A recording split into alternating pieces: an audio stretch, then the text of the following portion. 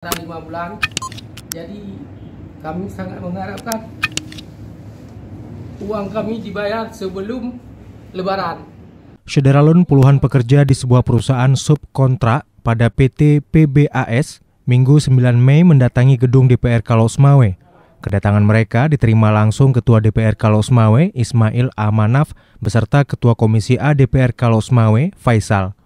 Seorang pekerja Agus Muhadar menyebutkan mereka sebanyak 61 orang.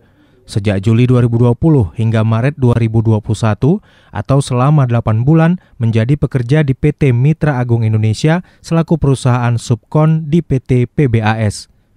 PT PBAS adalah perusahaan yang kini sedang melakukan revitalisasi terminal LPG di kawasan Arun Losmawe. Namun kata Agus, kontrak kerja mereka telah selesai sejak Maret 2021. Namun sampai saat ini upah belum dibayar. Ada yang belum dibayar dua bulan hingga delapan bulan. Jadi kami sangat mengharapkan uang kami dibayar sebelum Lebaran. Karena kami sangat membutuhkan uang tersebut. Karena kawan-kawan kami rata-rata ini orang-orang tidak mampu bisa dibilang. Bisa dibilang kami tidak mampu makanya kami bekerja.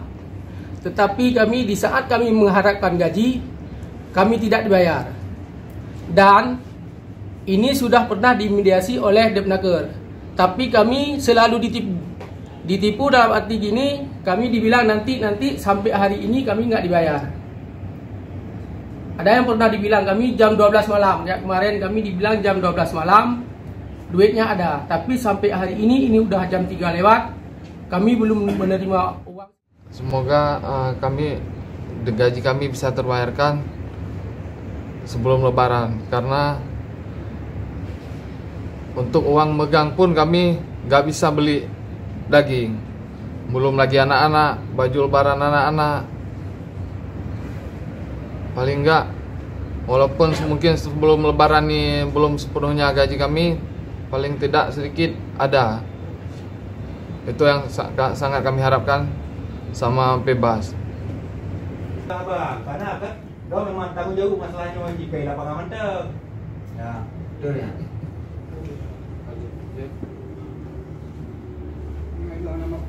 Oleh masa, uh, para pekerja dan apa solusi yang akan kita tempuh dan harapan kita kepada pihak yang perusahaan bersangkutan. Jadi kalau kita lihat dengar keluh kesah yang disampaikan oleh para pekerja yang di bawah PT Mitai sangat miris maka dalam waktu dekat kita minta kepada Pibas untuk segera menyelesaikan apa yang menjadi tanggung jawab daripada PT Mitai eh, dan kita minta juga sebelum lebaran harus selesai. Jadi tidak ada istilah mereka tidak menyelesaikan eh, apa yang menjadi kewajiban daripada eh, subkon daripada Pibas. Uh, memang persoalan mereka apa tuh?